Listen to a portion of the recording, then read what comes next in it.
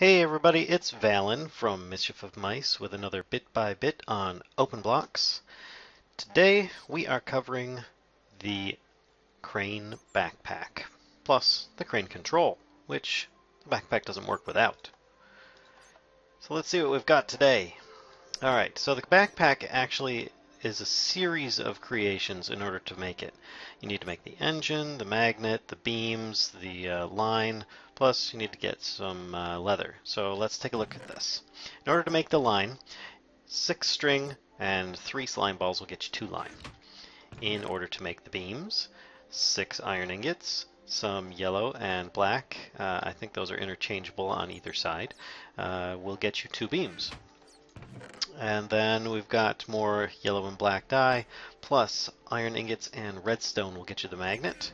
And last but not least, uh, pants-shaped iron ingots, like, uh, if you will, the, uh, uh, well, plus a stick and redstone will get you the engine. Put all those together in a crafting table like so, or I believe it, it may be uh, movable, uh, so it doesn't have to be exactly like this, will get you the crane backpack. Then, on a much simpler note, some gold nuggets, redstone, glowstone, and iron ingots on the outside will get you the controller. Now, how's it work? Well, first let me put it on. Alright, and it actually is a piece of armor. So if I go to regular game mode, you can see I have the equivalent of iron armor on, which makes sense because you got a lot of iron in there. Uh, now, how do you use it? Well, you have to use your crane control let me switch back to game mode 1 again. And I can show this to you a little easier, I think, in another view mode. All right, here we go. So by pressing right click, it will go up, but it's already all the way up. So you see the little blinking on the uh, controller though. So if I shift or crouch, uh, sneak, any way you want to call it, and press the same button, it will go down. Then if I stop sneaking, press that button, it goes back up again. Simple enough.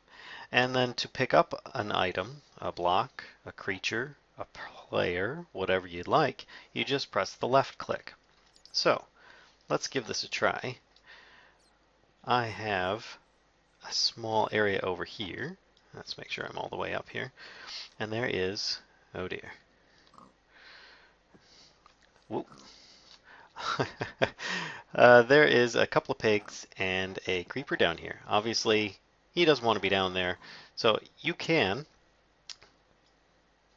try and save him. Now, the, the crane is actually about two blocks in front of you. And you notice there's a green flashing. That means that you can pick up an object. So you got to be careful though because if it's a live entity you have a chance of uh, injuring them if you're uh, a little too close to certain items. So there we go. I picked up the pig and I accidentally dropped him. I pressed the wrong button, my bad. So let me go down, raise it up a little bit so I don't squish him, pick him up, and then I'll bring him back up out of here. And there we go. Now to let him go again, just so that you can see, it will stick with you wherever you go. So you could actually carry creatures that you need, like cows or chickens or things like that, instead of having to uh, you know lure them uh, forever back to your base if they're in difficult to reach spots. Uh, but you just press uh, left click again and you set them down. Now if you set them down a little too low into the ground, uh, for instance down here, you might actually have a problem of uh, killing the pig.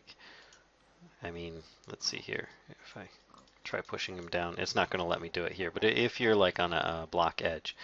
So there is uh, another thing that you can use this for, and that of course is blocks themselves. So let me try lowering it down onto a block here.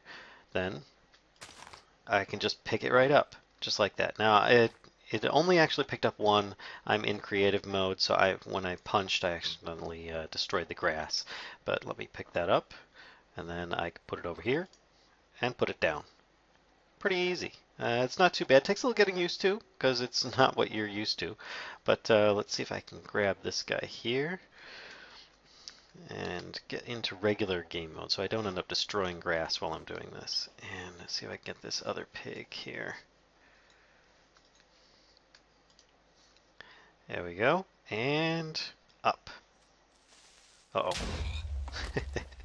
Alright, and that's pretty much it for uh, this bit by bit. If you'd enjoyed, please give me a like, comment, or subscribe. And until next time,